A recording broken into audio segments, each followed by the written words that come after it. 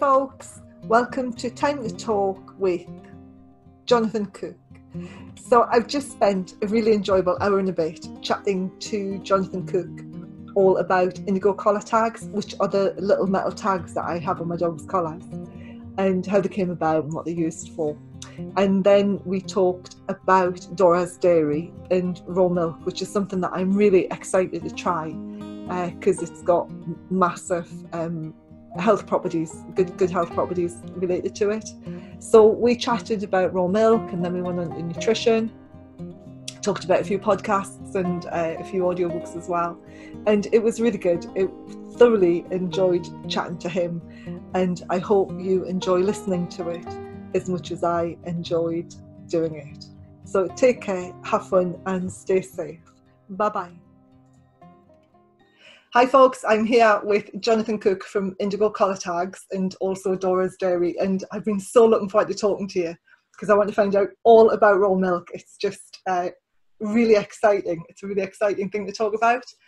But first, I want to ask you about your involvement with dogs and how um, these amazing collar tags are meant. Have you got any with you?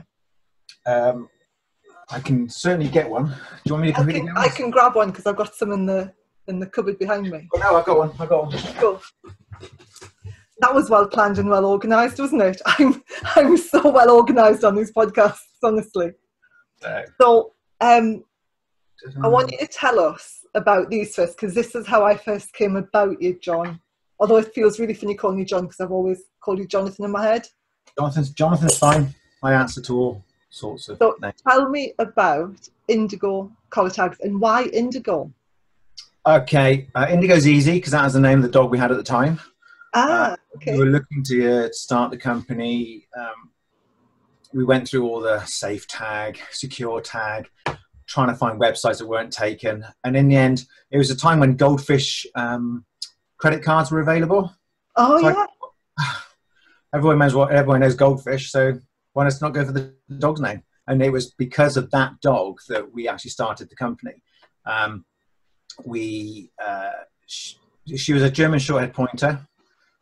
Obviously, they're all loopy. Um, and somebody walked past the farm. She just followed them. They went to a pub. Didn't take her inside. Left her outside on the main road. So nice. she got by a dog warden. Now we're very much in in, in the very uh, almost like an enclave in, in North Wiltshire. So we're very close to Swindon. I mean, literally a mile away from Swindon. But because we're in North Wiltshire, our dogs, when they get picked up by the dog warden, get taken elsewhere. Mm-hmm. So she got taken to the local vet in, in our in our village. Um, at the time, there was there were two types of scanner, I believe. One you held the button and scanned, and the other one you held and released. Unfortunately, the girl that did the scanning didn't know how to actually operate it. Easy mistake to make. So she actually got taken to Bath, which oh wow, it's a fair hike, thirty odd miles away. Yeah. So it was a fr- it was a Friday night. Um, it was actually my ex-wife's dog. I was actually in in Gloucestershire baling straw. So I had this panic phone call. We lost the dog. So oh, bizarrely enough, my sister used to play hockey with one of the dog wardens. So I managed a very long process. Got her number.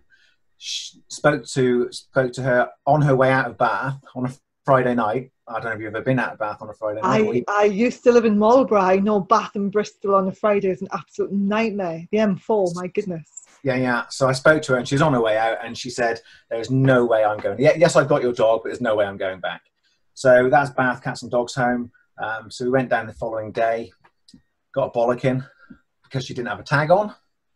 Even though she had the she had the the uh, uh, microchip, Okay. Even, even, they didn't pick the microchip up, and we did get it scanned afterwards, and it was working fine. So it was, I think, it's eighty pounds fine, and my my ex-wife got a good bollocking, and and and, uh, and I mean the dog was a complete mess. I mean she was really when they're when they're that that um it's that almost like that nervous energy. We we were we reckon she lost about twenty percent of her body weight overnight. She must have been frantic. The, the, so, the, I mean, she didn't, and she didn't leave our side for two or three days. It was she was just with us all the time. So I started the search for have a proper name tag because anything with a, you know, you can have the best dog tag in the world. It's got it's got a really weak ring yeah. attachment. Terrible. um, and she would lose a tag in a day. I mean, she we called a hedge blind, so she would run through a hedge Yeah. as if the hedge wasn't there, and you know the tag's just dangling in the in, in No the sense, no feeling. So you buy two or three, and then you get bored, and you just say, "Oh well, whatever." So, and uh, at the time, you know, she's microchipped, so why, why worry about it? But obviously, we should have worried about it. So then we, I started to search to find somebody, and I found a guy in America that was making these these tags. I bought seven Uh-huh. for my dogs and a couple of my friends, and within a week of having those, I'd ordered another ten for another ten friends. They all said it's such a good idea. So cut that long story short, I ended up being the European distributor for them. So I don't make them; somebody else makes them for me. Okay, I thought you made them. It's Yeah. funny, isn't it? Because in my head, I'd associated it with somehow to do with the cows. Because I first came across you in around about 2007. Huh? Um, when did you set up? 2006. So I was, I thought I was really early on because I can remember talking to you and I thought they'd just come out. And I can remember talking to you about cows because being a dairy farmer. And in my head, I put the tags with some sort of cow equipment. Do you know how you make these really wacky leaps, these blonde leaps? It was a blonde moment. And it kind of stuck in my head the whole time. And how many years? 13 years. Mm. And um, so we, when we come back from New Zealand, we were renting a place uh, at Wootton Bassett, just next to, I can't remember what the pub's called now. And I was looking for dog tags to go on my dogs when we found somewhere to live. And then I came across your website, which was very different how it is now. And then moved to Marlborough, got my first dog tag, started teaching at Wootton Rivers.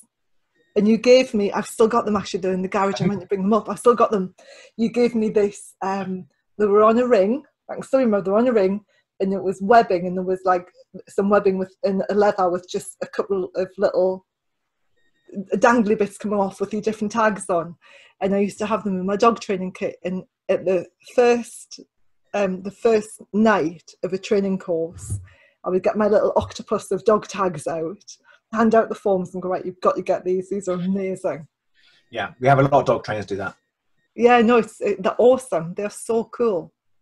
They're so cool, and um, because they come in different sizes and they go on different types of collars as well, don't they?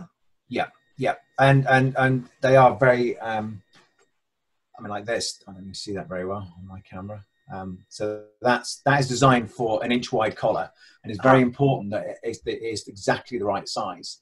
Um, I mean, on, on on my dogs, and I don't know quite whether everybody else's dogs are the same. Obviously, my dogs are farm dogs, and they run around all day in lots of cow shit. And I've got to cut those tags off. They don't fall off. I mean, we we guarantee, we Oh. guarantee. I mean, they're, they're, you can't you can't even bend the on the collar. Yeah. So if they're fitted to the right type of collar, Uh-huh. uh, they won't fall off. No chance, absolutely none. Um, so we are. That's why we offer the lifetime guarantee. Uh, and I think, I mean, in, in the 14 years we've been going, I've I've, I've probably replaced I don't know, 30, 40 tags. like really. They don't. I mean, just, there's else. amazing. And usually, usually, if they have fallen off, Uh-huh. um, it's usually because somebody's taken them off. Uh, I mean, I did have one one lady phone me up and say, "Oh, your tags are rubbish." It was one of these actually. I I don't know if you can see it. So it's the it's like oh, leather. they, they're the leather ones, aren't they, Yeah, with the deep shoulders? They can't they can't fall off. No. And um, it was at the vets. At least she, at least she phoned me up two days, uh, two weeks later, and said, "Oh, I'm really sorry, you've replaced the tag for no reason." But uh, the thing is, we we we we replace so few that the odd one that does come up is that's no problem. You just just replace it. yeah. We, we, we, we have a, our customer service is really easy.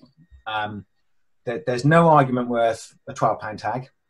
no. So if the customer's not happy or, or for whatever reason, we just don't get into into any argument with them. It's just okay. We, will- we will refund you or replace you. Mm. So I mean, I, uh, and I one of my boasts is you won't find a bad review about our product. no. 14 years try and try and find one you know it's we've had a few customers that have, i mean i had one customer at one point i was sending the tags before payment um, Oh, yeah i know uh, and i had one guy said i was stupid for for doing that what sort of business was i and i said well i kind of trust people to actually do what they say they're going to do i had made, you know, Yeah, made a contract and it's and he said well i don't think it's worth that money and i said well that's that's fair enough send it back and he actually did so okay. but that's one. one, I think. Yeah, yeah. People are funny, aren't they, with money? They um, they don't they don't appreciate the fact that something that's really really good quality will cost you a little bit more. But then um, I'm going off track here. Have you have you ever read Terry Pratchett? No. Terry Pratchett books. There's a character and then and I keep referring to him as Sam Vimes as the copper. And it's Sam Vimes' philosophy on quality or something. And he's a copper and he says, you know, you pay 40 quid for a pair, $40 for a pair of boots rather than $10 for a pair of boots and you'll get more than four times worth the wear out of them. And that's kind of the philosophy that I've stuck with for years. You know, if you want something to last, you have to pay a bit more for it. Well, there is that. And if they've got a lifetime guarantee, I mean, goodness me. Well, the, the most important thing for me was security. Yeah. So if they don't fall off, then you know your dog's got ID on. Because very early on when we started, we, we had, um, I had a long conversation. I've forgotten her second name. She's, I think she started Dog Lost. Jane, is it Jane? Um, and um, she was saying that most dogs, when they get lost, get lost really close to home. Yes. So they've effectively just wandered off. Uh-huh. Um, they're, they're usually not lost, but they get picked up by people and taken in, and then you start this chain of, of, of trying to find who, who the owner is. Mm. Whereas quite often they could just let them go and they probably go home if they want to go home, obviously. Um, so we, I, I have this argument quite often about the uh, what should go on the tag. What Yeah. information should go on the tag? Yeah. So you've got your legal requirement, which is your name and your address. Uh-huh. Um, and having spoken to Jane, she said, and I remember the conversation quite clear. It was late one night, and I, I'm, I'm pretty sure we both had a drink, and it was quite a funny conversation. But she was saying that she rehomed disproportionately more dogs that had their name on the tag than, than, than that didn't. So they had the dog's name on the tag. Uh-huh. And I was like, well, why ever would that be? And she was saying that because if, if somebody's going to, well, she said quite a few things. Um, I'll try and say them in some kind of a, some kind of an order. Firstly, if somebody's going to steal a dog to sell it, Uh-huh. doesn't matter what it's called, they're going to steal it. Yeah. If they're stealing it to sell it, what they will do is um, they will maybe hang around to find out whether you're out calling for your dog. that's the first thing we do when we lose our dogs. We go out and call the Yeah, yeah, name, don't we? Yeah. unless you're training it to the whistle, of course. Um, but then, uh, I mean, I, she told me a story of a, a actually of a farmer with black Labradors, like I've got, who um, they they lost one of their one of their dogs, uh, his bitch, and uh, so they were out calling for it. So this guy turned up and said, "Oh, what's the matter?" And they said, "We lost our dog. If you see a black Labrador, it's called." Oh my goodness. Etsy. So then they just go off. So if you if you're trying to sell a dog and it responds to you, so you know, Indigo, for instance, you know, you say Indigo and it pricks his ears up, nobody's going to doubt that that's your dog. Yeah. So what they'll do, they will maybe change the name to something very close to it, so it still responds. hmm So she was saying that when, because when like the, the I think I'm sure it's dog lost. It was, I'm sure it's dog lost. When the posters go up, you get the the visual. Uh, Yeah. photos. Some people remember names. If you've got both, then you're going to have a better association. So if you're trying to sell it down a pub, and I've never known anybody buy or sell a dog down a pub, but apparently it happens. Um, so they, they, there's there's two two cues for them to remember. Oh, I'm sure I saw a dog, a collie with that name, or something Yeah. similar. So and and that I think was why she was getting more more of them come home. But but also it gives the dog comfort. So if, if you know what the dog's called and it is scared and lost and it's I don't know fireworks or something that's run off, if you can afford that dog's a little bit of comfort before you find its owners, then actually there, there is no harm in having that, that name on the, on the tag. So I think it's almost like a false security with the whole the whole naming. The whole, so I, when I had this conversation with people, I don't want I want as little information on the tag as possible. I said, well, you want the dog to come home, don't you? Mhm. Well, then, of course the answer is always yes. And I said, well, you want to get it back. If it's the next street over, you want somebody to walk it home, don't you? What have they? What have they haven't got a mobile phone on them? You know, Mhm. and but also, I mean, there is there's the police aspect as well. Because if your dog goes there and causes an accident, Yeah. you've got to have if, if I know it's they're all chipped now, but at the time they weren't. Um, so if you if you if you if they can't get hold of you, then you know if you just have a mobile number on, hello, this is the police. Your phone, your your dog's just caused an accident. Well, I haven't got a dog. I don't know number you've called. You know, it, it, it's there's so many like. So really, Yeah. two two numbers. Well, I mean, I always put two. I put everything on my tags. Yeah. The dog's name, my name, the address, and two telephone numbers. Okay. So if they ever get caught, and, and you know, it still happens now because my dogs wander the farm, and we've got quite a few footpaths.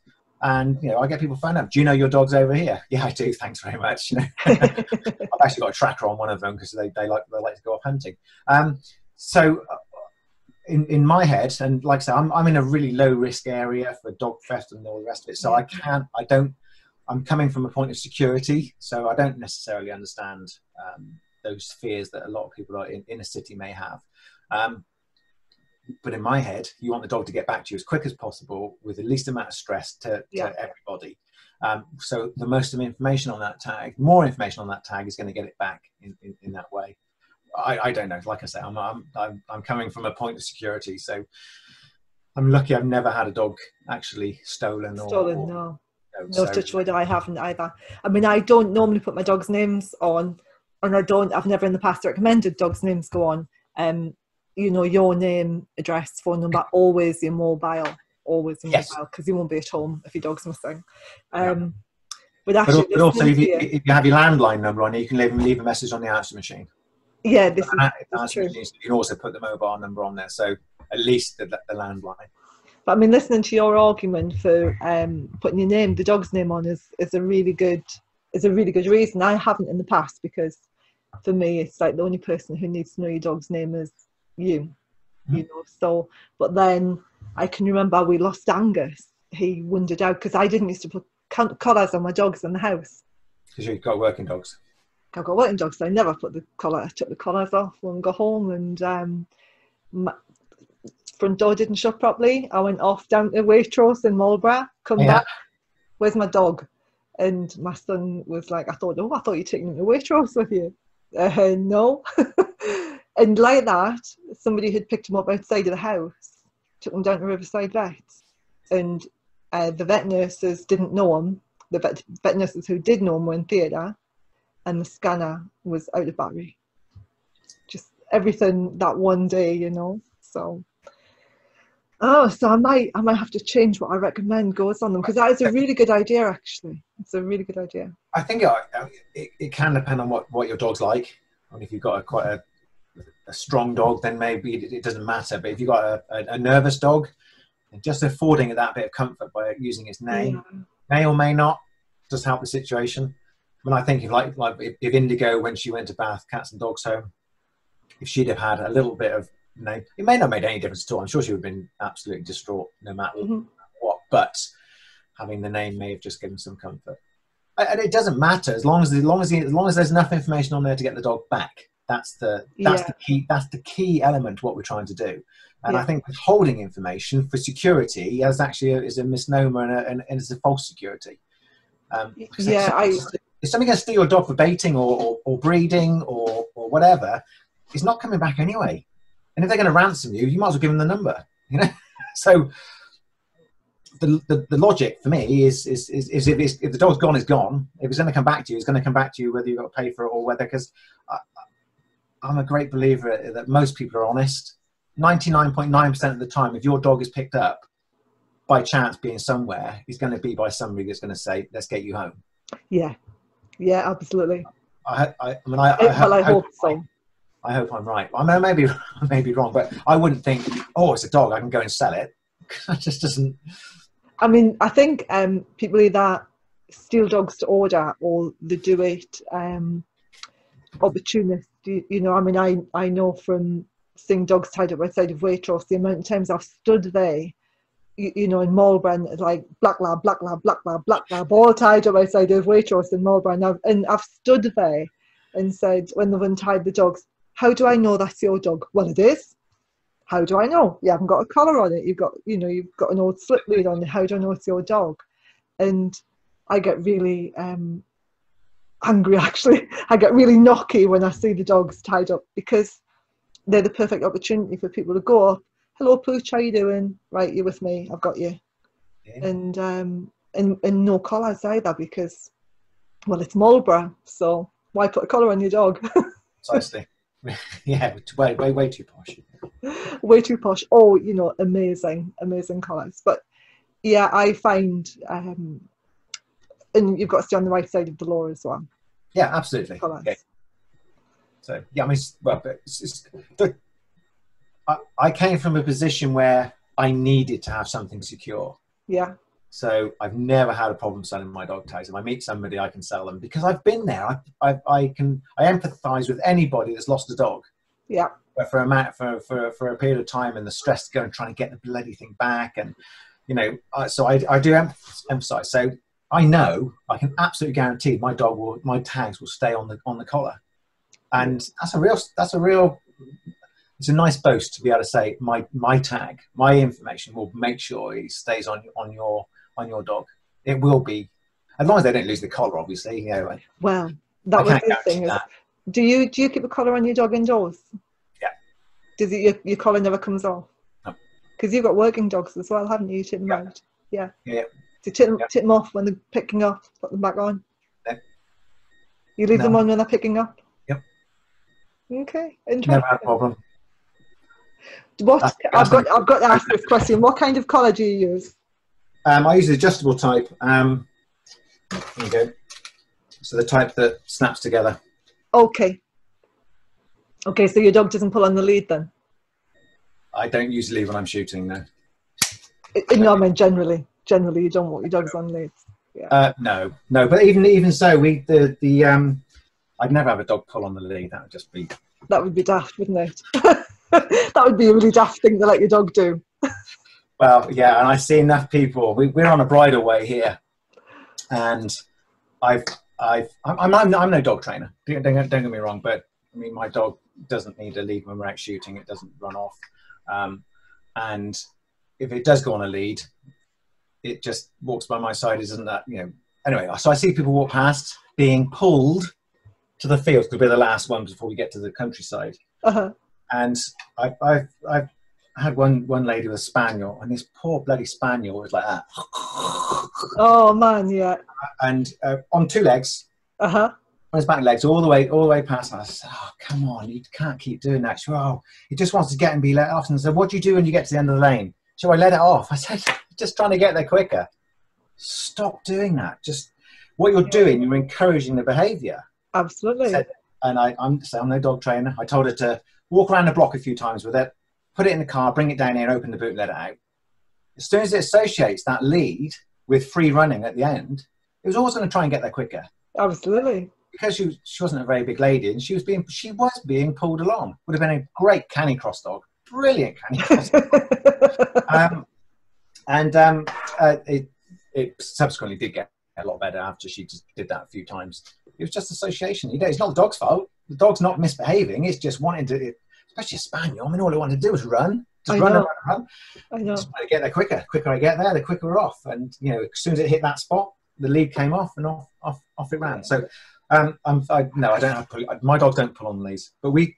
And I don't know if you've seen the collars that we sell. We, we, we sell these water collars. The um, uh, they're Oh, I like them. They're made in Germany, but the the the the hoop isn't on the on the clasp. I'm not sure if you can see that. Yeah, I can see that. So That's really good. so when you pull, Uh huh. you're actually pulling just on fabric. Fantastic. because some of the old ones we used to sell, the the the cod the those like the lugs would break off, Yes. but because there's no pressure on that lug now, Uh huh. even if you get a dog that pulls, it's just pulling against material all the time. Yeah. I And, like uh, them a lot, actually. Yeah, no, they're really good. They're really good. we we're very pleased. I mean, I have worked with people's dogs in the past, and it's um, you, you know, you learn you learn by your mistakes, don't you? And so I would, when I first started doing behaviour work, I would use the equipment that the people gave me, and I can remember this. I was working with this really aggressive. God, I was working with this really aggressive boxer, and I had one of those. That's why I said, you know, this this clippy ones, and um, next door's dog came out, gone collar. I was left hanging with this collar. Um, it was it could I mean it could have been really bad. This dog was really aggressive, and gosh, what a nightmare! I'm, can you remember that one? Um, and and then you learn you never use people's equipment. You always use your own equipment. But yeah, and when you got that out, I went, oh, but that's an amazing piece of kit. Yeah. I'd recommend them. They're good. Yeah, when when we when we started when we started doing the tags, we just did very basic um, tags. That's all we did, um, Uh-huh. and we tried to do a few other bits and pieces. Yeah. But I, I found it seemed that a lot of our customers are very practical people. They want to spend a bit extra on the quality, Yeah. and actually bling wasn't their thing. They weren't interested. They just wanted good quality. And we sell leather collars from from an Italian company as well, Ferplast, and they're bull's leather, so it doesn't stretch. Brilliant. No, stretch you- you- Yeah. collars longer and longer and longer. This this you know the, the leather we sell we don't. And I stuck with them right all the way through. We've, we we we don't sell anything else other than the that that, that leather. And we've we've so we we tried a few other bits and add on upsailing bits, but we've just come back to doing very basic collars. Um, I'm grayscale colorblind. I don't know what colors they are, but um, there's a there is a range of colors, Uh-huh. um, and they're they're just practical. They're strong, and they're but they're not blingy. So, and we you know we we're selling quite a few of them just because awesome. people. I think people look at us. You know, we've got a quality tag and we've got a quality collar, so we're not trying to make them look pretty or anything. I mean, although they are quite pretty. I'm I'm, I'm told the colors are nice, but it's it's you know we're we very much stayed to our core to the core of what we were about. So it's just dog security, and part of that is having a good good collar on your on on your dog. Absolutely. Good good common sense equipment. Yeah. But you've I've seen on your website that you um you sell them for things like kit bags and Yeah. luggage and um Anything that has equipment, anything that you can put a tag on. anything that has webbing or, or, or a leather strap they can go onto. Yeah, so um, we don't sell many for horses. We sell quite a few for horses for their, their head, collars, Mhm. um, but we sold quite a lot to the army. So if you'd imagine you're jumping on a on a Hercules and you've got um, 100 other soldiers chucking their Bergens in the corner, Uh-huh. and let's face it, they all look the bloody same. They're all camouflage. It's got a big, big. Um, so I mean, some tie tie stuff around them, but they can just put these tags on the outside, and then they can just be distributed because they're easy to read. But also because they you can remove them, they can go on the inside of the Bergen when they're in out in the field, so they don't need. They're not shiny and and but they're, you know they're always on Of course. and we sold quite a few to Navy divers. And I had a really interesting conversation with one. Um, he wanted four tags, and I said, "Why? Why do you want four tags?" And he said, "Well, I want one for each of my shoes, or, or the the some however his I don't even know what they use. Not it wasn't flippers. He wasn't talking about flippers. It's whatever's underneath the flippers, I suppose. Uh, and one for my webbing kit, and one for my wrist. You can, you can fit them onto those. Uh, I call them James Bond watches. You know, you can just get a strap. Oh yeah, yeah. Yes, they fit on there quite well. Uh, I said, "Why you want? So you want? Why, why, why do you need so many?" He said, "Well, if I if I hit a bomb when I'm when I'm mine searching, I Oh my god, that's really awful. That's just I'll do your discount." so he had, a, he had a good discount. um, so, but the thing is, you see, because they're made from surgical grade stainless steel, they don't rust in seawater. Uh, we had when we first started, we did um, quite a lot of agility shows. uh-huh. and we went to um, I don't even remember. I think it's Paddock Wood. I think it must have been um, what was the big dog show they had in Paddock Wood? Can't remember. Can't remember what it was. And we sold some to an agility. They had, agility events there, and we sold some to a club. It was either Christchurch or Bournemouth or, or somewhere on the very much on the west on, on the south coast, and I started noticing we started having a lot of orders on the south coast, and where everybody's walking up and down the beach saying, "God, you want to get some of these tags? They're brilliant. They don't rust in seawater." Oh, Because the. Tags were just falling off and rusting. Uh-huh. It's just like a wave coming out. I can't remember. Right to like Brighton, like Bognor Regis. It was just like going because we're tracking it. Like, and it's where people were crossing over and walking on on the beaches and talking about their dogs, and they'd see the dog tag and incredible. I've done so little advertising. I think I spend something like hundred pounds a year on advertising, Really. word of mouth, and repeat customers. So when we started the guarantee, we sort of said, "Oh, is this really a good thing to be doing? Guaranteeing for life?" Um, because people move. How many times have you moved? You move. Oh, I know. I know. I'm always can I have some more tags. you know, you change telephone numbers, you get another dog, you don't want to put the old tag on the new dog. you want to bury it with it. And um, I mean, 70% of our customers are repeat repeat business or, or, or recommendations. Brilliant. And that is that is awesome. we've also had, you know, regularly um, after holiday, any kind of a holiday period, um, usually Christmas, but Easter especially as well, we'd notice we'd have a spike after those holiday periods, and it is where people would go and visit other people with their dogs over the, over a period, and they just have their my dog tags on their on their collars. The owners that they went to, or the, the other houses they went to visit, would see them, or other people would see them, and we just so we, we always ask where on the on the website where have you where did you get where did you hear about us? Yeah. and it's nearly always an existing customer. And say we get spikes in january and and, and april may time. You see, I think you should. Um, I think you know, if I was like a boarding kennel or anything, I would have loads of your tags in, and and just attaching all the different dogs, you know, for different collars on them, and then and then. Yeah. dog, dog, dog walkers do that so dog walkers when they pick up their, their, their, Okay. their dogs they'll just put on because the, the, the one thing you don't want when your dog is walking somebody's dog if it does run off is for the owner to be called at work i've got your dog here what are you going to do that would go down well, wouldn't it? so because we do offer discounts for for for, for um, quantity, then you know we can. If you are a dog walker and you've got six or eight dogs, similar size, Labradors, whatever, just get the collar, slip it over their heads. Is is is really quite an easy thing to do. And and and like with certainly with our collars, you know, if they are clipped on, you you're not gonna not gonna break Yeah. it. So yeah, no. When they turn up at the houses, they just swap the collars, leave the owner's collar there, and put theirs on, and off it goes. And it's a routine for the dog. The dog knows then that it's going to go off for its walk, and Yeah, absolutely. And and then they can have really good boundaries at the um, dog walkers and go mad at home yeah, yeah, changing the collar. So yeah, absolutely, yep. awesome. Yeah. Now I I want to talk to you about raw milk. Actually, I, that was a big jump, but I want to make sure that I get to talk to you about raw milk. Um, I I know very I do know very little about it. I Right. know that it's got some amazing health properties, and we've spoken before about it being good for people who are lactose intolerant because I'm quite lactose intolerant. Are you Uh, okay? Yeah, yeah, and I'm desperate to try it. Um, but you can't buy it in the shops in Scotland. No, you can't. I did try Kefir years ago, years and years ago for health benefits, you know, and it was I couldn't stomach it. no, I couldn't I couldn't even get it to my mouth, you know. just everything hard. about it just turned me off. Um, but I'm very much into uh, using, you, you know, food as a as a medicine. Yep. And so, why why did you go down the raw milk route? Because it, you, you know, uh, it's it's unconventional at the minute. I mean, it's there's there's a lot of people say, oh no, you shouldn't have raw milk, and there's a lot of people who are now coming around and saying, well, actually, raw milk is the thing to do, and so it's quite kind of ahead of the curve, really.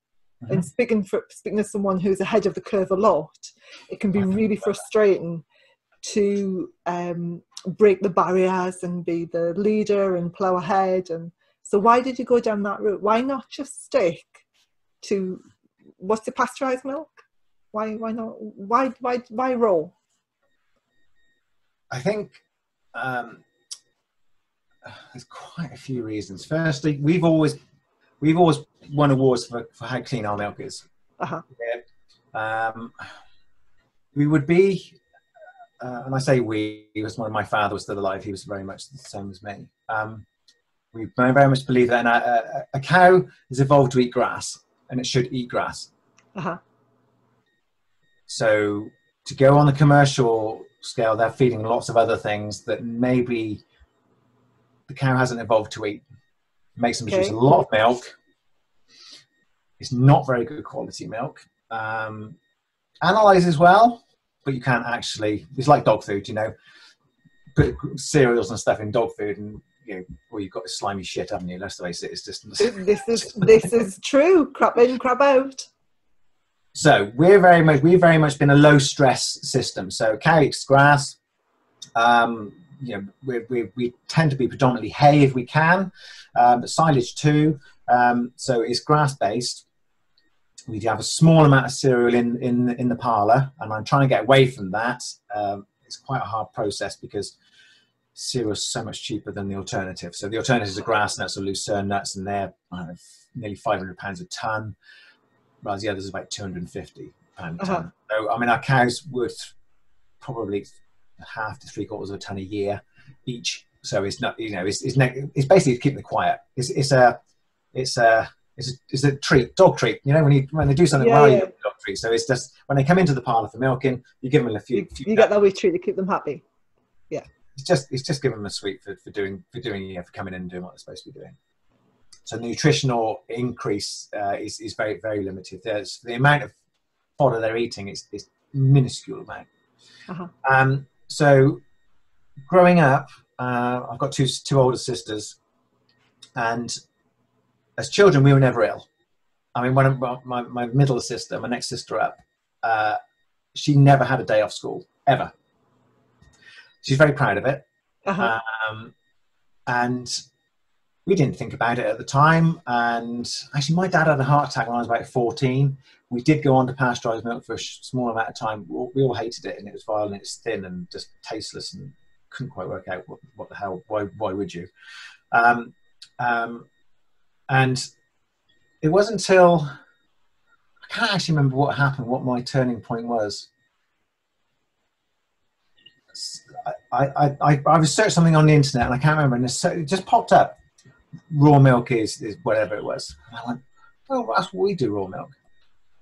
And then the, the, then the following one was warning, you know, past, you know, you need to pasteurize because it'll kill you otherwise. And I was like, really? But we're producing really good milk. And I just got into this wormhole, was starting to find out information about actually, it was liquid gold. And I was just, I kept saying to my dad, this stuff is just phenomenal. We can't.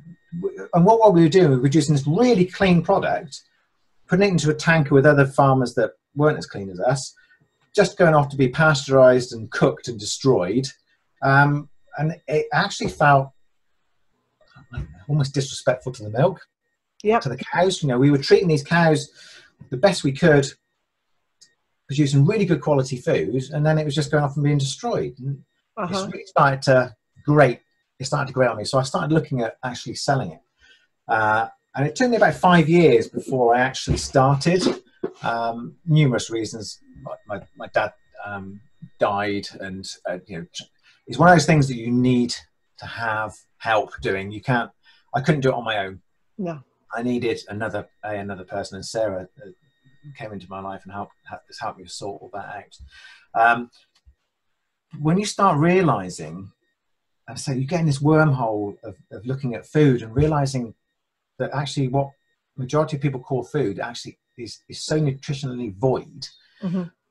um, that when you start realizing that, uh, when I realized I was producing this superfood, it's like, "God, I need more people to know about this. This is, you know, I was winning awards for, for high quality milk, um, and and we're, we're tested on two things. Firstly, the health of the cow, which is the somatic cell count. So it's somatic cells. Somatic basically means of the body. So in the milk, milk's akin to blood. Actually, it's very very similar. Um, so uh, if there's white blood cells in there, that would be um, that would indicate inflammation. Yeah. So if you cut yourself, white blood cells go there. Yeah. So if you've got a very low cell count, which we always have, it shows that the cows aren't stressed, that the udder, the, the TNs aren't under challenge. So there's no infection, there's no inflammation. Good food. So Uh-huh. straight away we, we knew that. I mean, we, we you know we all, I think we did a test on some milk. Um, my mother had bought some milk from a big. I nearly said the supermarket, and I won't. Um, and I got it tested with our other mix. We test our milk every every single cow gets tested every single month when she's producing milk, and I sent it off. And so the national average somatic cell count is 221,000 cells. It was at this point 221,000 cells per milliliter. Sounds a lot. It's, it's, it's not extreme. Um, we were producing it at 42,000. That was our average. That was our average. Wow.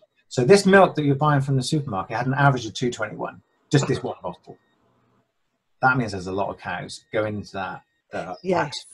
They're chronically inflamed, mastitic, ill, stressed. You know, it's like us. When we're stressed, there's physical, you know, your liver emits enzymes, your hair falls out, you, you lose condition, you lose weight.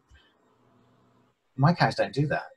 Mm. My cows stay pretty much the same weight from calving right through to when they calve again, whereas the, the, the commercial herds, and you know, the commercial, don't get me wrong, the commercial herds are looked after very well, and they, they are, the, the welfare is, is exemplary in worldwide standards. Mm-hmm. But they're athletes. So mine, I've got I've got plodding donkeys that go down you know, Western Beach and they're going up and down, you know, and they just cruise through their lactation. Whereas the big commercial boys producing twelve thousand liters a year, I produce about three and a half, four thousand liters a year. My cows, I produce so their their cows are producing four times as much. They last three, maybe four years. I've, I've got 15 year old cows. You know, I, I've had one the other year, was 20. And she was a bit of a, I was a bit of a softy with her, to be fair. But, um, so it, it, it, for my thinking, I could never understand why you would push. It's like having a racing car that you race, race, race, race, and then after three races, you've got to get rid of it. Yeah. I'd rather have my bloody old Land Rover and, you know, keep going like 100 years, 100, 100 races later, you know, just keep going around and around and around. And it just doesn't seem fair on the animal. Mm-hmm. We've bred them to be super athletes. And the breed, I mean, these farmers are incredible. They're, the achievements they've, that they, they, what they achieve is incredible. I've got to say, mm-hmm. I'm always amazed with the breeding and the feeding and the, the nutritional. I mean, all these cows are athletes. They're nutritional. It's better than humans in many cases. Yeah. Uh, and, uh, and that's one of the bizarre things that this whole kind of like the, the vegan aspect, if you like, um, that actually animals are far, looked after far better than humans look after themselves. It's, oh, a bizarre, yeah. it's a bizarre situation where I knew, I'm sure you get it with some of you, you like, going to dog shows. You know, I used to have people come up to me with, well, I used to call it DIY dentistry because they wouldn't look after the teeth and it was like homemade clothes and the dog was immaculate. you feed, you know, you see him eating, eating bloody, I don't know, donuts or something, and then say, no, the dog's got to have raw because that's the best. When strange, I, I get it, I get it. Strange, strange um, thing. So I think I've always been very much on the side of uh, letting the animal be the animal. Uh-huh. Um, and if, if you, and my, my dad always used to say, if you look after the cows, they'll look after you. Mm-hmm. And it's, it's, it's true. Um, you know, uh, antibiotic use is a big thing at the moment, um, trying to cut down antibiotics because you know we, we get resistance in the in the human population.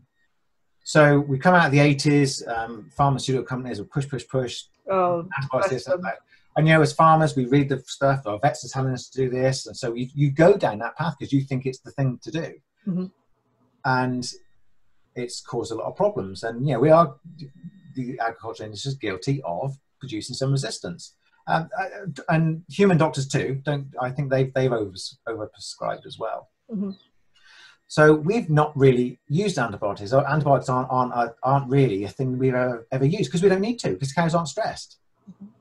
So I mean, yes, they get it if they're ill, if they're if they're lame, or you know, and we can't if it's an infection, they get the antibiotics if they need it. Yeah, but not routinely.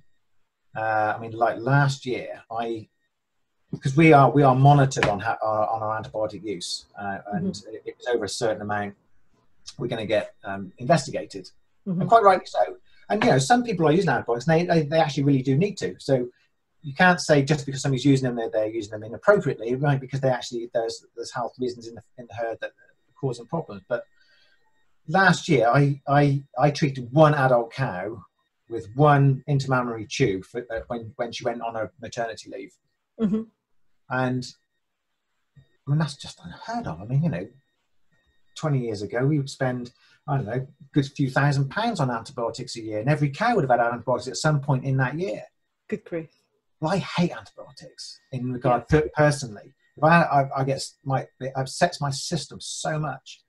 Um, and so, like going on from that, a lot of our customers have real serious digestive problems. Uh-huh. And they'll, they'll search us out because raw milk actually repopulates the stomach. Okay. If you have antibiotics, then you completely destroy all the good bacteria. This, this obviously um, susceptible to the antibiotics, but you you so you affect your microbiome, your stomach. Your stomach yeah. is, is actually it's a I mean it's second brain. It's if you, if your stomach's wrong, everything else is wrong. Yep. Your skin, your digestion, your brain, everything. You know, depression is, is actually they reckon is, is a big problem because of what's in your, in your stomach. I've got people travelling from Weston-super-Mare, Ross on Wye, Bristol, Cheltenham, um, uh, Chippenham. Did I say Reading? I mean, the, the, uh, Abingdon. I mean, they're, they're coming miles, miles and miles, miles to try to get our milk. And when you ask them, why are you coming? Because it makes me better. Yeah. So That's... what what does it do? Because I don't know if you know, but I used to be well, I am a kinesiologist as well as a dog trainer, and so we um, we put a lot of store in the gut, being and and they found um, uh, brain cells in the gut. You know, there's a lot of information on the brain cells being in the gut, and all of the things, you know, um, your gut instinct and all of that logic comes.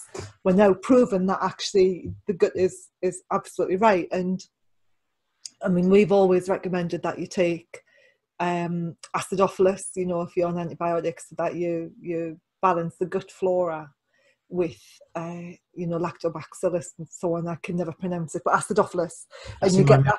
Sorry, it comes in milk. It comes in my milk for free.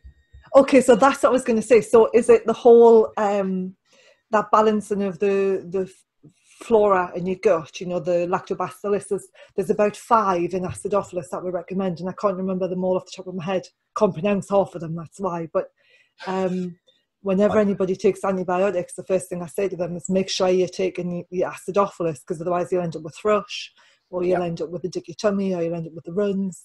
Um, yeah, candida, yeah, it's there's, can, there's, yeah, candida, the whole lot, you know. Quite often when I when I speak to my my customers, there is usually a stress period or, or, or mm. some insult to their stomach, whether it be antibiotics or, or, or, some illness somewhere along the line, which has completely put them out of balance, and they just can't get right from it. Yeah. Uh, so, the thing is that the the like candida out, out competes everything. It's just there's such, such a strong ass bacteria, isn't it? Can, can bacteria candida? Candida albicans it's a yeast infection. It starts off as yeast infection. Yeah. And um, so, uh, if, if, you think what what raw milk is designed to do, it's designed to feed a, a mammal, uh-huh. baby mammal. Everything is in exactly the right proportion. Mm-hmm. Proteins, the carbohydrates, the minerals, they're all there's there's there's enzymes to break it down. It's all it's all bioavailable um, you can live on raw milk. And I've actually one of my one of my customers is just on the end of a two week period of having nothing but my milk. Wow. And he said he's never felt better.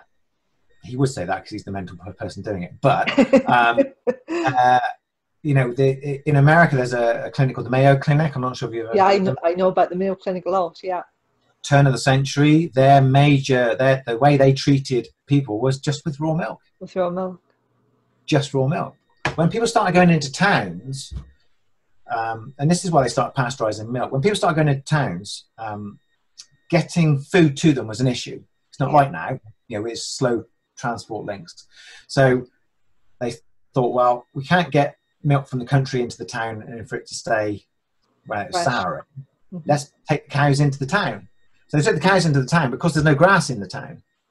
So instead of feeding them grass, they would feed them brewery waste or ba- bakery waste, just waste food. Oh, they take, they take it from the. Um, I can remember doing a, a brewery tour, and yeah, yeah, brewers grains, distillery grains, yeah, the distillery yeah. grains. They take that's what they take, isn't it? Because I can remember doing the tour. It's just yeah, yeah. And you know, you can, you can still, you know, farmers still feed them now, but it's, it's a it's a different a different story now. So, um, so the turn turn of last century, um, these cows were stuck in these effectively concrete concrete prisons, being fed stuff that they weren't they haven't evolved to eat. The cows were sick. I mean, all of the cows were sick, so they were still milking them. So the milk they were producing was well rubbish. It's with with raw milk. It's got its own pathogen inhibitors. So, um, like stuff like um, E. coli, for instance, you know, oh, E. coli is really, really bad, but it's really bad competitor, so it won't compete against other bacteria and it, it dies off. Mm-hmm. In pasteurized milk, it's got free reign, absolute free reign. Okay. But also, if the cow is ill, the cow's milk doesn't then contain those pathogen inhibitors. Uh-huh. So, you know, in the 1920s, the, it, we didn't know much about pathogens in the same way we do now and how to control them, temperature, chemicals, and such like. So they were producing this awful milk, putting it into dirty containers, feeding it to kids, and they're getting ill and they're dying. So they're blaming the milk, or actually it was the the well, it's not the cow, it's the it's that is is the cow, isn't it? So you know, if they'd have actually let the cow be the cow, they would never have had a problem. Yeah. So they passed, they started pasteurizing milk to save people's lives. So the science is based on 100, 100 year old science, basically. So when people were getting ill, yes, they needed to pasteurize it from these inner city cows. Mm-hmm. But cows like I've got that eat grass, the milk is, is, is, is inherently safe. The whole point of it is, is designed to feed a baby mammal. And if you see a calf that's, you know, mum's let down in some, a little bit of mud, it's still sucking off. It's still taking in that mud as well. So there is a challenge there. They don't get ill. Don't, my calves don't get ill. Um, and I think I think we've we've become so um, so reliant on government approved food that our, that our whole um, our reality isn't reality anymore. I know. So when, when we were when we were kids, I mean, my grandfather grew everything. We you know we'd kill a cow a year. We, I I reintroduced pigs onto the farm, but you know we would have had pigs. We had chickens. We just kill our own chickens. You know, we we had real food. When I was growing up, we had real food. And it was a case of, right, somebody needs to go and pick some broccoli. Oh, do we have to, you know, how many kids get the chance of that? Or actually, you know, so I mean, you see this broccoli in the supermarkets, and I don't go to supermarkets, so I, am talking um, local shop maybe. Um, and you, you, you see it there, and you, you know that that's gone on a massive journey through numerous different processes to get on there. Um, it's, I mean, it's still nutritious, but it's not the same as taking it out of your garden.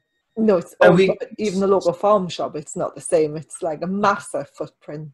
Absolutely. So people's rea- people's take on reality. So if you, if you talk to your grandparents, they would go, you know, well, yeah, of course that's that's fine to kill a pig in the garden and you know you smoke a bit and you cook a bit and do whatever else. That that's that's fine.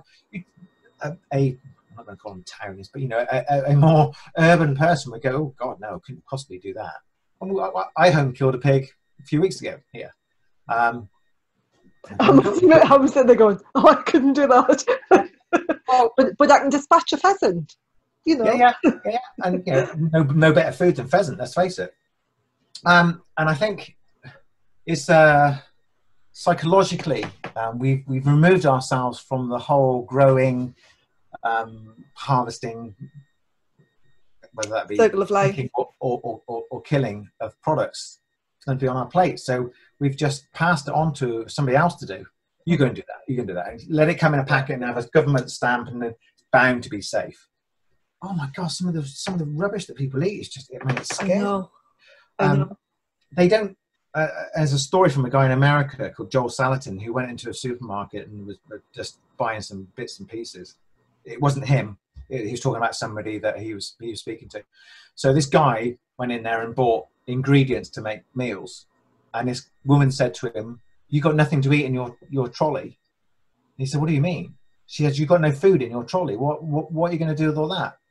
And he looked in hers and she had ready meals. Everything yeah. was ready made, yeah. pies and whatever else. And he just said, That is my food. That's I make meals out of that. And she couldn't comprehend the fact that you would actually assemble stuff. Well, that's that's that's mental. So I think, and that's the obviously the extreme of it. But we've we've we've as, as a as a as a culture we've completely lost in such a short amount of time mm-hmm.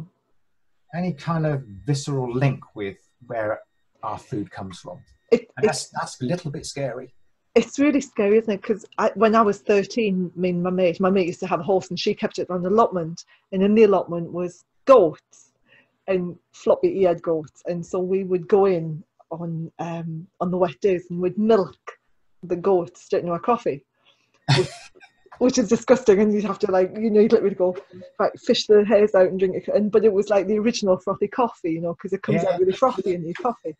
And um, and I now can't eat like goat's cheese because all I can smell is wet goat, which you, you, know what I mean, don't you know that smell when you walk into a stable full of wet goat. Uh-huh. Um, but yeah, people think it's really bizarre that I used to do that, but it was really nice it was fresh, straight, yeah, straight out the goat. Yeah. But I think a lot of um, stuff that's going on with the food industry is really shocking. I I used to I follow there's a really good um, dietitian called Zoe Harcombe. I know Zoe. Yeah. Do you know Zoe? Mhm. She's amazing, isn't she? And Yep. so the stuff that you, you know, if it's if Yeah. it's got, got a face, it's a fat, and you should be you shouldn't um you, you know you shouldn't really if you can't pronounce it, you don't know what it is, you don't know where it comes from, Or you can't replicate it. you shouldn't really eat it. Yeah. And and so that's kind of philosophy that I've followed for years. I don't keep everything separate the way that she does, but I'm very much into checking everything, you know, the whole Ancel Keys study and how the Eat Badly plate came about and you know the fact that it's got fizzy pop on there and so I I know I I'm really quite shocked at all of that and it brings it really does bring the kinesiologists out to the front and go the fight we had with the pharmaceutical companies years ago you know 20 years ago trying to um yeah I mean were trying to ban St John's wort for example uh, from ha- having it on sale you know because it was having an impact with what they were putting out. Likewise with raw milk. Uh, and, and I can imagine it being the same with raw milk. You're, you're in for a battle. Uh, we've uh, one of the one of the problems of raw, milk producers is we were very tend to be very small um, and very remote from each other. So we've only just formed the Raw Milk Producers Association. Um, last we just had our first birthday. Um, one of the directors, we, we needed to get something because we were all in the dark with it all. You know, the, the, the testing procedures and exactly what we needed to do to make sure it was safe and like the latest knowledge. And when, when Sarah and I started, it, it was a case of we were just feeling our way through the dark, you know. Yeah. we, we were, we didn't want to make anybody ill. We knew what we did was, was, was safe, but we needed to actually confirm it was safe, to actually, actually let somebody, um, uh, you know, be able to prove it. yeah Um, so we started to to um, sorry, the dogs wanted to come in. um, so we, we and everybody was saying the same, same thing. You know, we, we, we know we're producing good food, but we couldn't actually um, get it out there. And and and part of what we've been doing because we, we keep our calves with our cows as well. uh-huh. So we're like the next level up um, uh, welfare, if you like. And it's commercially a suicide. It's really difficult to make any money out of what out of, out of actually keeping the cows with the cows because so if a cow's going to give you 20 liters, let's say, Uh-huh. or if a cow can give 20 liters, the calf takes five. You don't get 15, you get five as well. Okay, She's going she's going to hold on for the other 10 because the other 10 is for her calf for later. right. Got you. So I need to charge four times the amount that I'm getting commercially than I than I am that, that for, my, for my actual raw product that we sell at the farm, Uh-huh. um, which is which is really, really hard. But that's leading on that is how I met. Uh, well, how I got introduced to Zoe Harcombe because we went to the ethical dairy up, up near um, they're in Scotland, just on the borders. Uh, I'm trying to think where they are now. If you look at ethical dairy, Galloway. whereabouts? Galloway. Galloway, Galloway, they are Okay. and um, so she there she gave she gave us a, a, talk on it and it's when you start getting into that that that little um, there's, there's there's there are producers throughout the country that are producing top quality food that none of us knew about each other and we're just like oh Right. now we're all starting to get together and there's that's a real big band of people doing the job really well Yeah. you know high welfare looking after so actually putting carbon back into the soil rather than releasing it you know we're we're on our journey now to be no till so we're not going to plow any land up it's all going to be you know keeping carbon in the soil rather than releasing Oh, it fantastic. um, using herbal leys to like self-medicate the cows and keeping the hedges uh, cut in a way that they they can self-medicate. Um, cows are just like dogs; they they know what they need. They Yeah. just got to have, have access to it. So um, I read a book by um, Rosamund Young called "The Life of Cows," Uh-huh. and she was talking about they they pretty much let their cows free reign um, and they're in, uh, um, where are they shropshire way warwickshire warwickshire i think um, and she was talking about a cow that got ill and that went, she would go off and find a willow tree because it's got Mhm. aspirin willow's got Of course, I, yeah. And?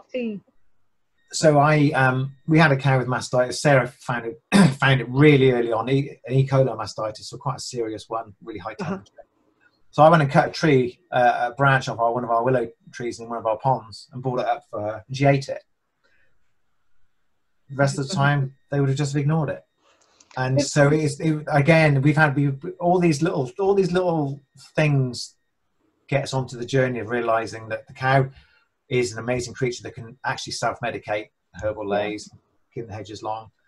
If they're allowed to do that, the quality of their food is just exemplary. I mean, it is so nutritious. Yeah.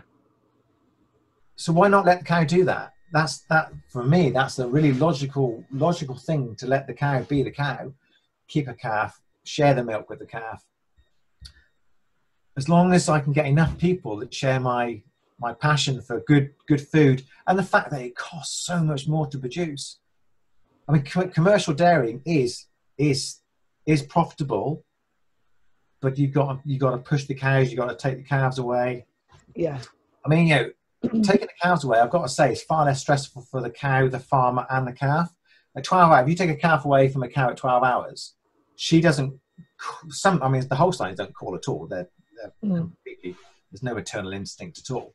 Um, the calf will bellow for maybe a little bit, a couple of hours until it gets fed. Then it realizes that that teat is its mother, um, and so the, and then the farmer doesn't have to go through any stress. And then the cow, instead of giving 20 liters, will give 30 liters because she's just programmed to produce it at the milking time.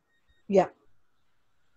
So it's a completely different. What we're doing from the, from the commercial is completely different, and you know, I, am not going to I'm not going to put commercial farmers down because I was one, one for quite a long time and we looked after our animals well, just like they are now.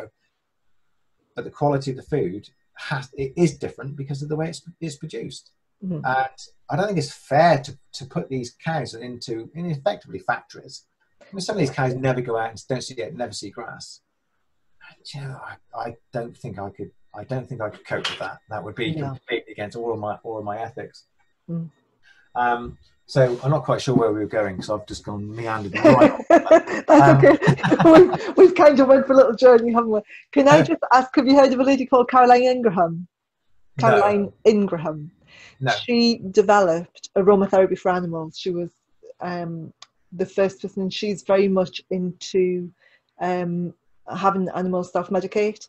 Yep. And giving them a choice of um, substances to sniff to correct what they need uh, correcting in them. She's done some really good books actually, um, aromatherapy for animals, and okay. she she might be somebody that you want to have a look at. She's amazing.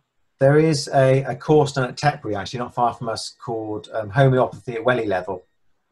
And oh, really? that sounds good. Yes, uh, it's probably based on a lot of stuff that um, Carol, did you say Carol Ingram um, has done, and uh, this so I was supposed to be on it last year. I, I, will be on it hopefully this coming year.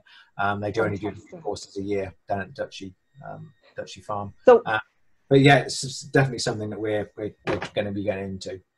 That's great. Where can I get some raw milk from? At the moment, only at the farm. But as you all know, we're going to start doing mail order fantastic. it was so funny because we're in Scotland and I said to my husband, Oh, I've just seen Jonathan and he's going to start exporting soon. And he went, Yes, he said exporting from England to Scotland. And it's like, Well, it is kind of exporting, really, isn't it? It is, no, it is, and it's it's, it's sad that you know, the Scottish farmers aren't, aren't allowed to, to sell it. It's uh, it's a backwards. backwards oh, how soon for your mail order? How soon can I get some? Very soon. You should have had some already. Um, the, the, couriers are being a little bit hard to get hold of and track down, and because it's a new business, there is a little bit slow getting going. Uh-huh. So, but but very soon you will be the first. Uh, you're the first on the list. Fantastic. My guinea pig. I'm really excited. Actually, I'll tell my kinesiology friends as well because um, although I'm I do my dog behaviour in the pet gun dog, I'm still a registered kinesiologist. Excellent. Excellent. So yeah, let let them know. Well, the, the other thing with raw milk is you, you can feed it to dogs. They can cope with it, and cats. Really? They the don't. They don't have an issue with it. Got the lactase in it.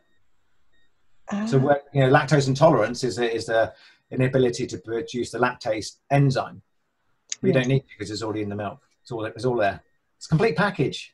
You said that. Well, I'm going. I'm really interested because I've got an autoimmune disease as well. So I'm really interested in. Um, oh right. Okay. Yeah, yeah. I'm very interested in in seeing what the raw milk can do. You know, just We- to level we- level my energy out. You, you know, because I take I take acidophilus quite regularly just to try and get my gut flora good. right? Or what we recommend for all of our customers is just a glass in the morning and a glass at night. So you're set- Yum. setting up both both ends of the day. Cold, not so it has to just be straight. Don't don't, don't, don't mess with it. Uh, you can put um, milkshake with it if you like, but don't put it in a blender because that ruins it. Yeah. Um, so people have smoothies, and we tell people make the smoothie and then add the milk. Okay. Because it, it it changes the fat molecule. The fat the, the the fat molecule has to be digested in the lower intestines rather than straight through the stomach.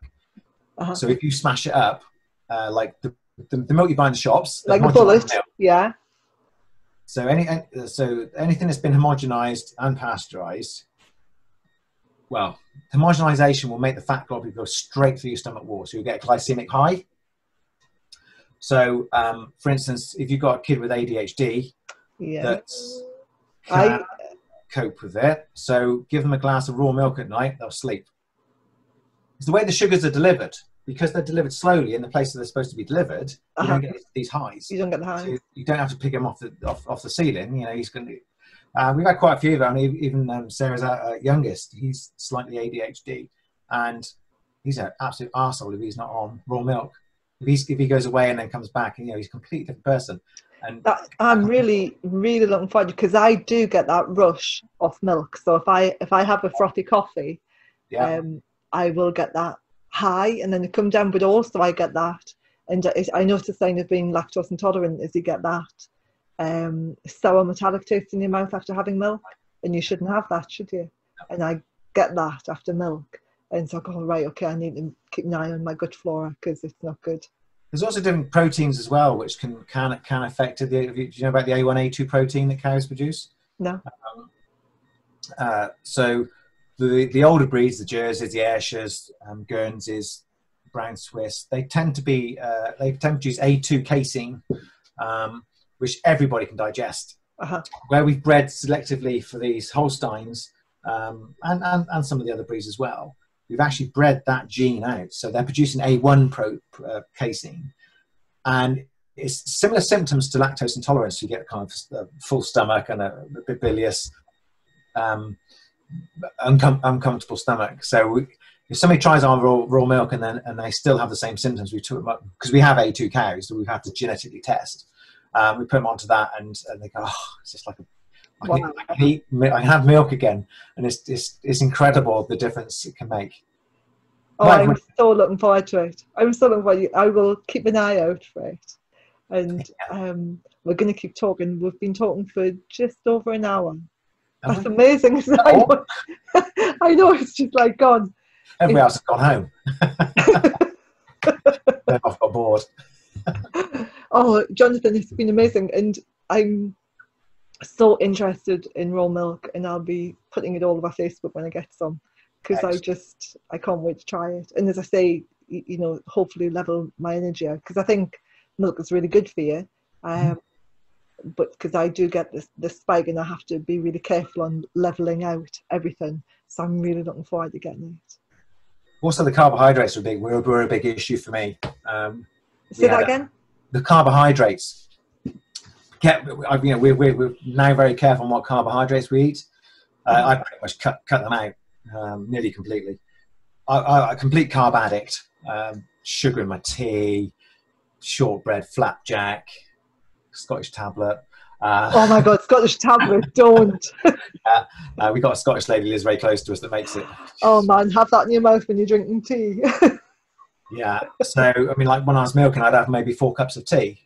Well, that's eight sh- spoons of sugar before I even started the, anything in my day. And I had a blood test. We had a private blood blood test done, and I was I'm just over the diabetic threshold. uh-huh. 49 was my AB1AC or whatever it is. And um, so one of our one of our one of our other customers um, who I did the blood test through um, said, you know, basically, John, if you carry on, you're going to start losing limbs when you're a bit older. So, I went, Wow. "Okay." so the next day I went cold turkey on on refined sugar, carbohydrates, pretty much completely. So I'm not I'm not carnivore. We have a little bit of sourdough. I'll have uh, limited amount of vegetables. Um, and it's that has made such a difference. I still drink the milk, obviously, so I'm having quite a lot of carbohydrates. I can drink six pints a day of milk, no problem at all. Um, when it's when it's when it's hot, I would just down a pint, yeah, easily, no problem at all. Two two with my dinner at, at, at night as well. Mm-hmm. Um, I'm not a big I'm not a big drinker, so milk is my milk. milk is my thing. And um, one of the revelations of actually cutting the carbs out is my lack of hunger. Yeah, I'm not hungry. Yeah. And you know, it wasn't a few weeks ago. I did a 24 hour fast, not um, by design, just because my life was so busy and I just didn't get round to eating. Mm-hmm. 24 hours. You know, I, I, just missed. I missed. You know, well, I only eat twice a day anyway now, but I missed my breakfast, which I, I as I just before I, I just had my breakfast before I was talking to you. Um, so, you know, if I have my breakfast at like midday or something like that, um, that would be well, midday onward would be when we normally have breakfast. But evening meal, seven, eight, nine o'clock at night. Um, I can go to nine o'clock at night without having any problems at all, without even thinking about it. Eight, nine months ago, I would have ripped your face off after three hours trying to get some food. Um, one of my customers said, "Hunger isn't hunger is not an emergency," and that really rings in my head because we think it is because our insulin levels are dropping so fast. Yeah, we spike, we keep spiking them, and I was, I mean, looking back, my my insulin graph, if you like, would have looked like a heartbeat monitor it's it's amazing, isn't it? That's where the damage is caused, and yeah, and that was laziness. Just it was just easy to eat biscuits. Well, I wouldn't eat a biscuit. I'd have a packet of biscuits because there's no off button with my carbohydrate intake. As soon as I start on carbohydrates, I just keep yeah. eating them. Um, so with animal fats, you don't you don't have that problem because your brain goes, you're full. Stop. So my breakfast might be six sausages and a couple of you know, four eggs, something like that. Okay, that sounds a lot, but that's I'm not having maybe anything else with it. That might be it, and I can go 24 hours on that. Mm-hmm.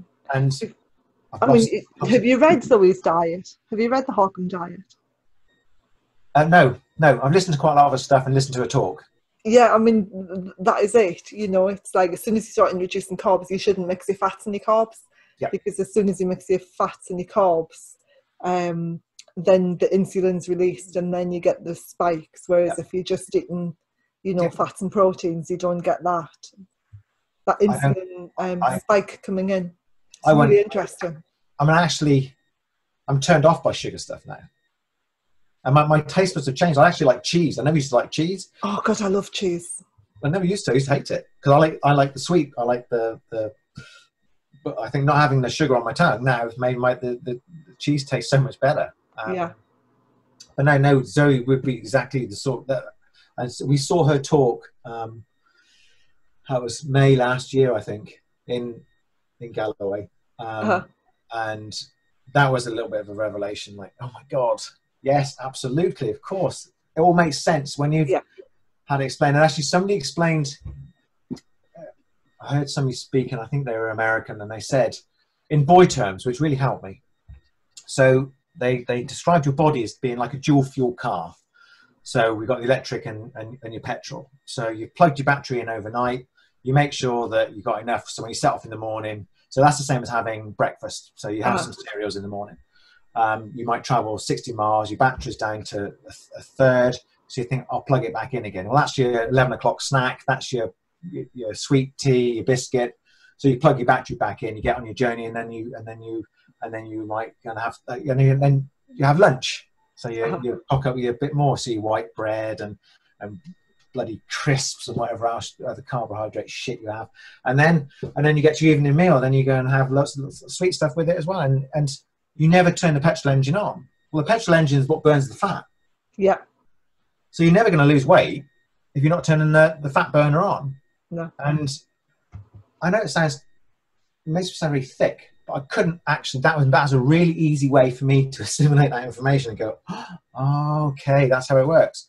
And if you stay in ketosis, and I, I think I am fat adjust, you know, fat adjusted now. I just all of all of all of, every, every bit of energy I get comes from fat, mm. and but I, I only look for it when I am genuinely hungry, and it's very very it's very very rare now. And I've probably still got a little bit of weight to lose. I lost well over two stone now. Um, and I haven't weighed for ages, but uh, it wasn't. Uh, I, I wasn't looking to lose weight. I was looking to be undiabetic. Yeah, pre-diabetic. it, And it is amazing I when think you have the last test I had, I was 44. So I went from 49 to 44, and I'd imagine now I'm probably 40 or sub 40. Um, so I should be pre pre diabetic and hopefully coming down. That's amazing. Um, but I think if you'd have said to me eight months ago, you won't have any sugar, I would never have believed you. And it wasn't until somebody said you might start losing your limbs, I went, this is serious. Okay, got to do this. And as soon as I did, it's like the next day was just like, but I'm not hungry. Why am I not hungry? And so I- it, it, it was, it was, um, it was like somebody smacking me around the head with a with a sledgehammer. Okay, this is why. Okay, now now you're now you're awake. I'm woke, as they say. Have Have, have you have you seen the film That Sugar Film? I seen the film? What's which called? That That Sugar Film. No. It's on YouTube. That, what's it called? That sugar film. That Sugar Film. It's an absolute eye opener. It's an hour. It's anybody who's considering um, how bad sugar is. Oh, it's not that bad. It's not that bad, and how it's in everything. Uh, that sugar film is it, it came out about 10 years ago now it's, it was a real hard hitting film at the time um come off sugar I think you've got to be looking for it then. I think um, I, I, speak to people because obviously I'm quite passionate about the fact that now I'm hopefully pre-diabetic and I'm not ever hungry and you know I don't know if I'm trying to save everybody or not, but I can see people glaze over, and that's exactly what I would have done two years ago, a year ago even. I would have just gone, doesn't apply to me. That's you, be, you become really passionate about it. You really i mean you, you actually make me think i need to go and have a look at the zoe Harcombe books again. Because her books are fantastic you know um oh what was it? Why th- there's a book she brought out which is something like um uh, the obesity epidemic. Mm. that is a really good book. And then there's another book on uh why why am I eating when I want to lose? I can't remember. There's some fantastic books out there, and she talks about you know insulin, Yeah. uh, and candida, and just amazing and how Well, important it- it is. Insulin, I believe, is a defense mechanism, isn't it? Isn't it? Isn't it your body saying we've got to get rid of this carbohydrates because it's like the toxic part. We just need to get back to the fats. Your Yeah, body, your body injecting something to get rid of the carbohydrates. That's why we get inflamed. That's why our, our, our bodies are going. Oh Christ, we need to get rid of this this foreign stuff we put in our body, so we can get back to digesting the fats. I'm not sure who said that. I need to.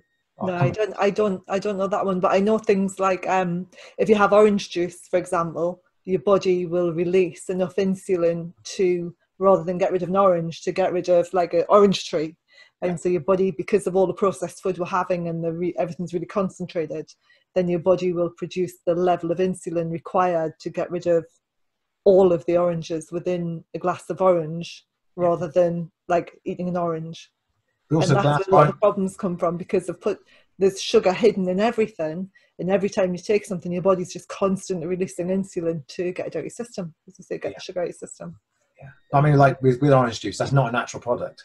Orange juice is No. not. Oranges, an orange, Oranges. fresh, is, is natural. Um, Sarah and I did our, our DNA test. We did a DNA test to find out where our um, heritage is.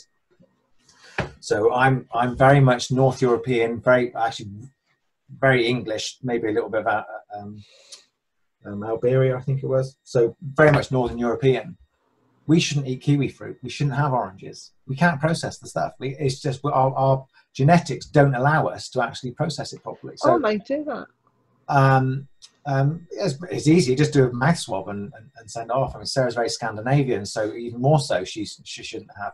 So fr- I mean, fructose, the the, the sugar in in fruit. Um, if you, if you if you if you again, I think one of the other problems that humans do is we don't realise we're actually part part of nature. We've removed ourselves. We don't believe that we're animals. We we're so clever. Oh, well, that's one of the things Zoe says, isn't it? Um, humans are the only animals um, intelligent enough to make food and stupid enough to eat it. yeah So with with with fruit, I'm pointing at my apple trees now. um, with with fruit, um, fruit comes out in the summer, autumn. We oh consume it, we put on we put on weight ready for the winter, and that's how Yeah. we're supposed to consume. Our food is, is seasonal for a reason. But because we're so bloody special and clever, we managed to then make fruit available all the way through the year. It's no wonder we're fat, obese, chronically ill because we're eating stuff we shouldn't be eating at the wrong times of the year. I mean, when you think about it, I mean, I don't know how old you are, but you're probably roughly the same age as me. And like when you were young, the exotic fruits. I mean, is there such a thing as an exotic fruit now? No. You, you know, it's like if you were lucky, the bananas would be there, and and you know, it's like, oh my god, it's exotic. Look, it's it's a, a pineapple and it's a mango, and now they're just commonplace. I don't think we can ignore the fact we've evolved over three and a half million years, pretty much pre- predominantly eating animal animal fats and and, and browsing for berries and such like. It's only been in the last what, 100 and 100 and whatever years we started processing food, um, preserving food, Uh-huh. and you know, well, even in the last 40 years, I mean, look, we had fat kids at school, but very, very few. You go to the school now, predominantly fat, skinny people. they- they- they- And who's who's the scientist? Um, uh, Tim Noakes. Do you know Professor Tim Noakes? He was saying when he was at school, he's in his 70s. When he was at school, they had one fat kid. They thought he had cancer. Had one fat kid in his class. Yeah. They thought he had cancer. It's it's amazing. Have you read *Sapiens* or have you come across the book *Sapiens*? I get very little chance to read. My only my my, my, my, my, my reading is in my tractor.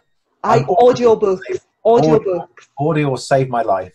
okay, so um, *Sapiens* on audiobooks is fantastic because he talks about wheat and how um, Mhm.